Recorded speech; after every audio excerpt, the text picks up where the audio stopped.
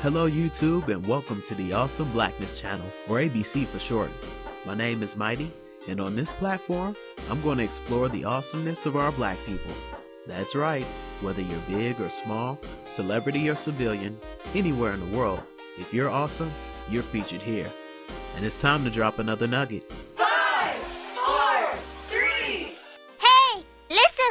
Anyone who is a fan of the Batman series understands all too well the importance of one Lucius Fox with his high level of strategic intelligence, which, as an aside and on another level, the animal itself demonstrates similar characteristics. Fox is the man who essentially helps bring Wayne Enterprises from the brink of ruin and also develops all the high grade militaristic tech Bruce Wayne uses in his quest of clandestine vigilantism. In the game of chess, rooks are considered major pieces, just below a queen in fact, as far as importance and lethality goes. Thus, if Bruce, the bat, is the knight, then Lucius, the fox, would indeed be the rook.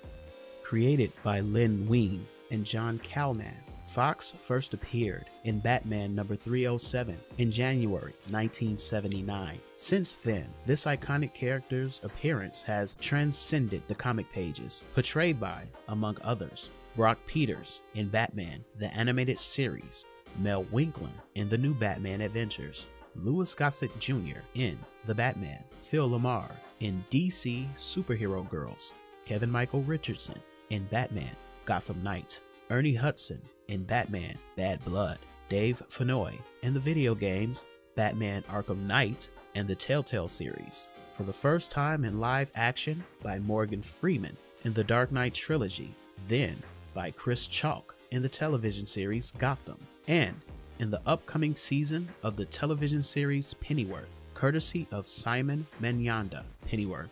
Wow. Is everybody getting an origin story now?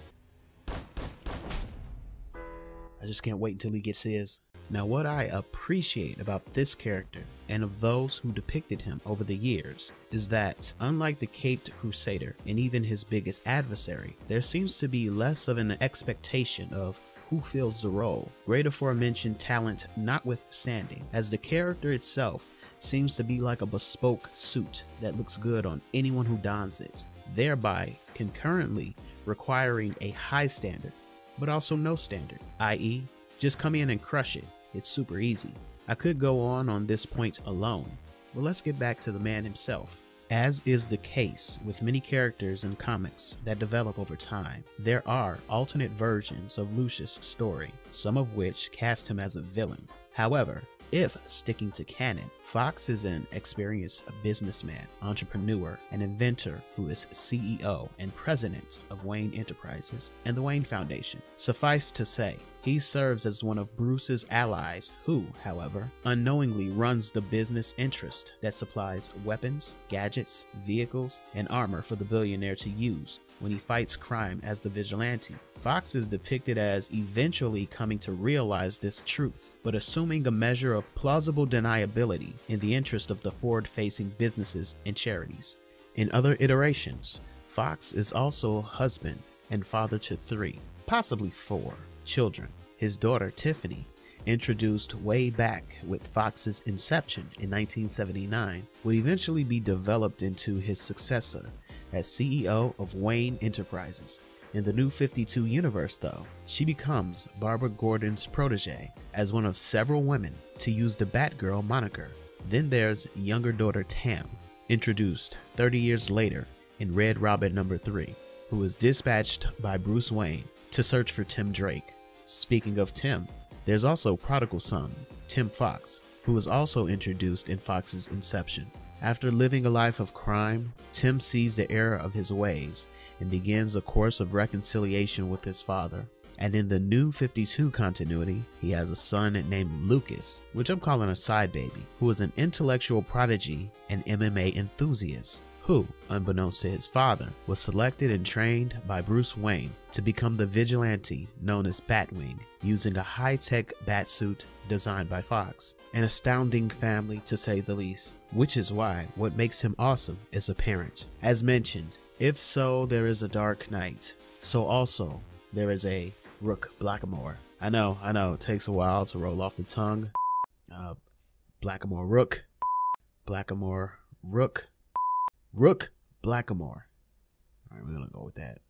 But it works after a while. Co-opted into a screen name before I do. But for real, Lucius is a quintessential supporting character. Not only that, his efforts never seem to go unnoticed, nor is he undervalued or underappreciated. Never have I seen such a dynamic where a man with power and privilege like Wayne give reverence, respect, and consideration of wisdom to someone who historically lacked both without it appearing like contrite to kowtowing. Similarly, and on a macro level, nor have I seen a minority character ever depicted in such a way with class and intelligence that itself didn't come off as pandering to the reader. You know, I haven't gone as deep into the lore behind the creation of Fox, but I get the impression that Wein and Calnan didn't set out to make a black character who happens to be awesome.